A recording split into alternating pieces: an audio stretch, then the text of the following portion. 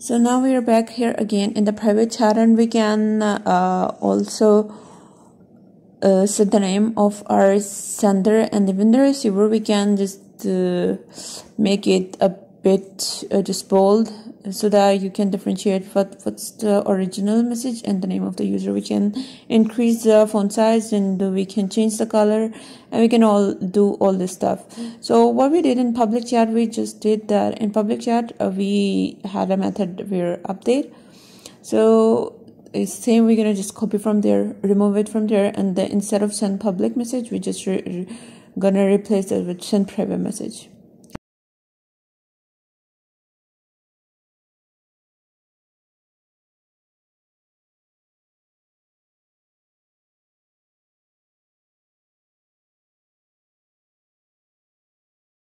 that's the same that as we did in the public chat.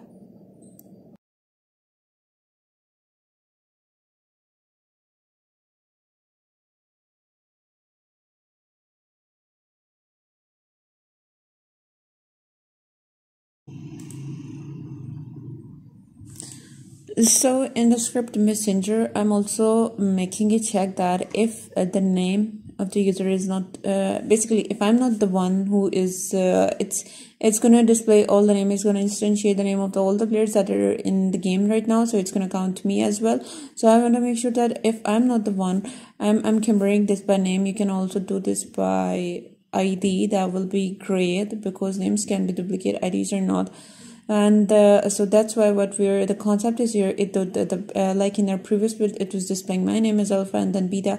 And it was a bit confusing who is am i? Uh, the the one uh, i and the one who is the other user. So we need to make these things uh, like how do they work?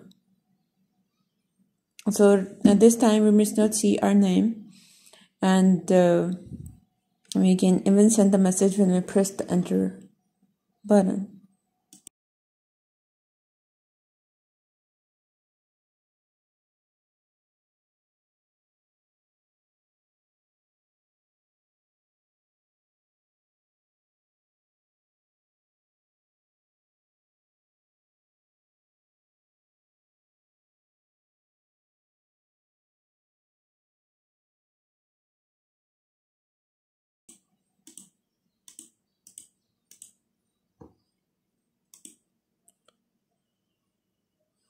So I just checked uh, this message by sending uh, it with uh, an enter and then the send button.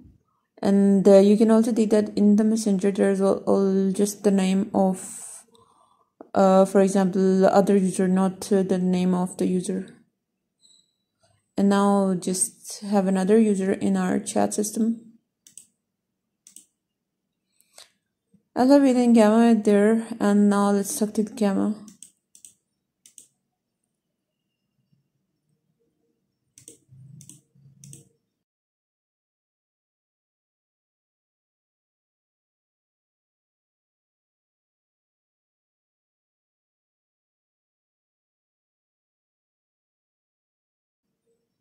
And so I have, uh, I guess it's working quite well alpha and beta index is not just uh, being